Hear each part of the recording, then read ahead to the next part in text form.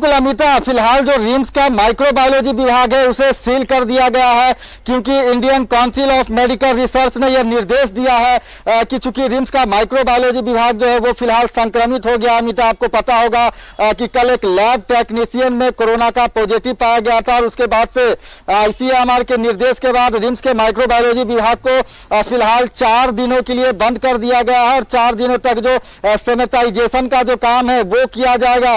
RIMS के microbiology विभाग में संक्रमण जो है वो पहुँच चुका है और वैसे में कोरोना के संक्रमण की जो है वो सफ़ाई की जाएगी। रिम्स का माइक्रोबायोलॉजी विभाग जो है, उसे संक्रमण मुक्त किया जाएगा। तो कहीं ना कहीं जो परेशानियाँ हैं वो बढ़ सकती है, क्योंकि रिम्स का जो माइक्रोबायोलॉजी विभाग है, वो हर दिन सैकड़ों सैंपल की जाँच करता है। और वैसे में रिम्स प्रबंधन ने अब यह निर्णय लिया है कि जो भी सैंपल रिम्स के माइक्रोबायोलॉजी विभाग में जाँच किए जाते थे, उसे इटकी स्थित टीबी सेंटर भेजा जाएगा। तो फ़िलहाल चार दिनों तक जो है वो रिम्स का माइक्रोबायोलॉजी विभाग सील रहेगा, अमिता।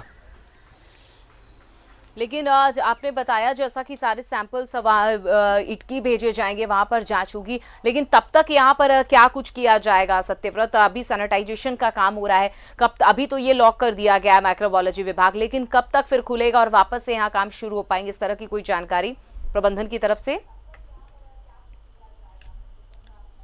नहीं देखिए, जो आईसीएमआर ने निर्देश दिया है, उसने कहा है कि करीब चार दिन तक जो है वो जो माइक्रोबायोलॉजी विभाग है, उसे बंद कर कर रखा जाए।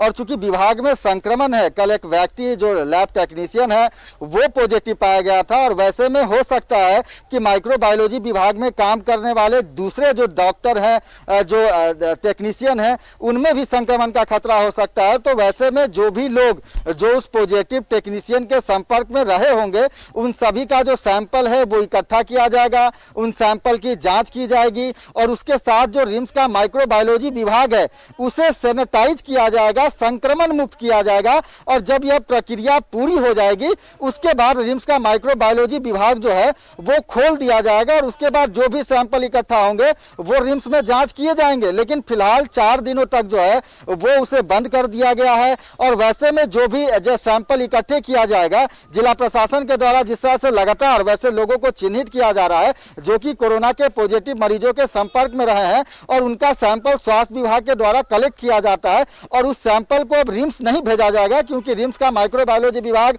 चार दिनों तक बंद रहेगा। वैसे में वो सैंपल जो है, वो इटकी भेजे जाएँगे और इटकी का जो टीबी सेंटर है, जहाँ पे पीसीआर मशीन लगाया गया है, लगातार वहाँ सैंपल की जाँच होती थी।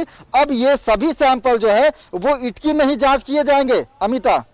चलिए तमाम जानकारी के लिए बहुत बहुत शुक्रिया सत्यव्रत। तो आपको बताया रिम्स का माइक्रोबायोलॉजी विभाग जो है लॉग हो गया है। उस, वहाँ पर, जो भी एक जो कर्मचारी था, वहाँ पर लैब टेक्नीशियन उसमें कोरोना के संक्रमण पाए गए थे। उसके बाद से यहाँ पर पूरा सैनिटाइजेशन का काम किया जा रहा है। फ़िलहाल जो सैंपल्स हैं, वो बाहर भेजे जाने हैं। तब तक के लिए इस पूरे विभाग को सैनिटाइज किया जाएगा।